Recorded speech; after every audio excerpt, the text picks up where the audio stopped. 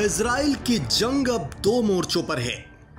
एक तरफ़ वो गाजा में हमास से जंग लड़ रहा है, दूसरी तरफ़ ईरान से उसने पंगा ले लिया है। इसराइली हमले में गाजा बुरी तरह से तबाह नज़र आया। अब गाजा के एक और शहर में इसराइली एयरफोर्स ने बड़ा अटैक किया है। इस एयर स्ट्राइक में आम नागरिक मारे गए हैं। रफाह पर हुए एक हवाई हमले में कम से कम 11 नागरिक की मौत होने की खबर है। इसमें ज़्यादातर बच्चे बताए जा रहे हैं। इजरायली सेना रह रह कर एयर स्ट्राइक कर रही है। गाजा से हमास के लड़ाकों को भगाने के बाद अब इसराइल के हौसले और भी ज़्यादा बुलंद हैं। वहाँ की एक मीडिया रिपोर्ट के मुताबिक, रफाह के अल नज़र हॉस्पिटल में बच्चों की लाशें पड़ी हैं। लोग लाशों को गले लगा कर रो रहे हैं। लोग सवाल उठा रहे हैं कि आखिर बच्चों से किसी की क्या दुश्मनी है?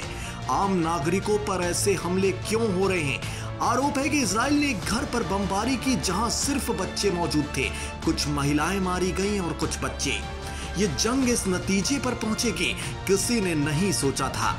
उधर रफाह में अब भोजन, पानी और दूसरी बुनियादी सुविधाओं की किल्लत हो गई है।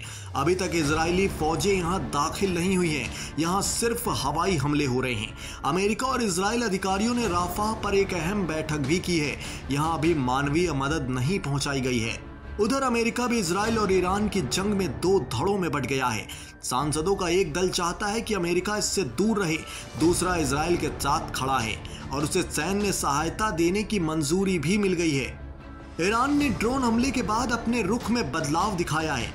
अगर मिडिल ईस्ट ये जंग बढ़ाता है तो स्थितियाँ और भी भयावह हो सकती हैं। ईरान पर एक भीषण ब्लास्ट हुआ है। वहीं गाजा में इसराइल ने जमकर बम बरसाए हैं। वेस्ट बैंक में संघर्ष जारी है। अमेरिका इस जंग में इसराइल को 13 अरब डॉलर मदद करने के लिए राज़ी हो गया है। सैन्य सहायता भी मिलने लगी है। ऐसे में अब ये जंग भयावह भी हो सकती है।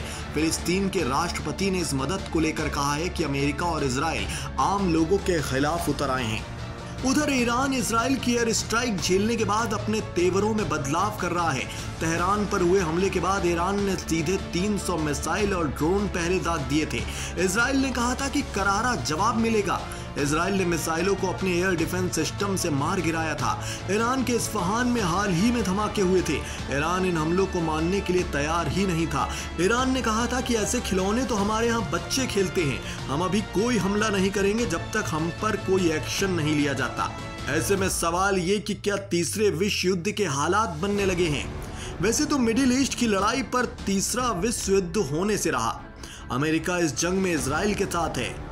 रूस खुलकर ईरान और फिलिस्तीन के लिए अमेरिका से जंग नहीं मोल लेने वाला। इस जंग में नुकसान फिलिस्तीन का ही होगा। ईरान और इसराइल दोनों मज़बूत देश हैं। ईरान कुछ आतंकी संगठनों को बैकअप देता है, जो इसराइल के लिए चुनौती बने हैं। वहीं इसराइल भी फिलिस्तीन पर लगातार हवाई हमले कर रहा है। जब तक रूस इस जंग में शामिल नहीं होता, तब तक ये जंग विश्व युद्ध में नहीं बदलने वाली।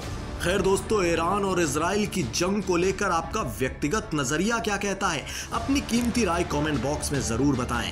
साथ ही देश दुनिया की ऐसी ही तमाम डिटेल्ड अपडेट से यूँ ही अवेयर रहने के लिए इंडिया डेली लाइव के अलग अलग डिजिटल प्लेटफॉर्म से यूँ ही जुड़े रहें।